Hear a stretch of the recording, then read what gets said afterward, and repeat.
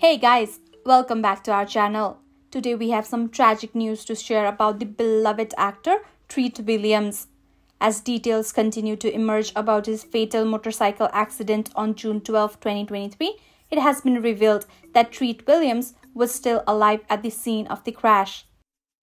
According to authorities in Vermont, Treat Williams, known for his work in Hallmark movies, suffered critical injuries in the accident. Lieutenant Steve Coote of the Vermont State Police Department confirmed that William was treated at the scene before being airlifted to a New York hospital. Unfortunately, Treat Williams did not survive and passed away later that evening. Colleagues and fans of Treat Williams are still coming to terms with this sudden loss. Many of his Hallmark co stars and friends have been sharing touching tributes to the beloved actor. Treat Williams, who was 71 years old at the time of his death, had left an indelible mark on the industry. The updated police report reveals that the accident occurred on Route 30 in the town of Dorset, Vermont. It was reported that 35 year old Ryan Koss, driving a 2008 Honda Element, attempted to make a left turn into a parking lot. Unfortunately, he turned into the path of Treat Williams' motorcycle, leading to a collision. Williams, who was wearing a helmet, was unable to avoid the accident and was thrown from his motorcycle.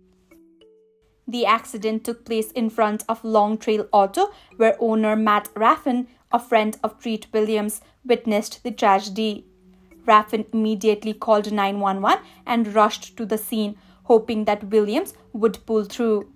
He reported that Williams was responsive to his questions, raising hopes for his recovery. Once emergency services arrived, Treat Williams was airlifted to Albany Medical Center, located over 60 miles away. Dorset Fire Chief Jacob Gribble explained that the Manchester Fire Department had to set up a landing zone for the helicopter. LifeNet of New York, a medical transport service, dispatched a specially qualified paramedic and nurse to provide critical care during the flight. During the police department's press conference, Lieutenant Steve Coote explained that Treat Williams was being treated by EMS and was later pronounced deceased at Albany Medical Center. Authorities are awaiting further details from medical examiners regarding Williams's condition before his death. The Vermont State Police Department is conducting an ongoing investigation into the cause of the accident and determining who may be at fault. A crash reconstruction team is utilizing advanced technology, including drones, to gather information and calibrate speeds.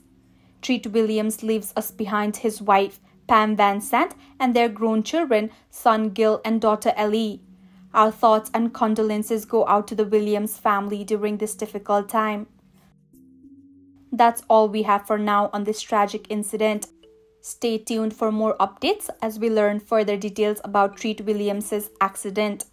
Let us remember Treat Williams for his incredible talent and the joy he brought to our screens. May he rest in peace.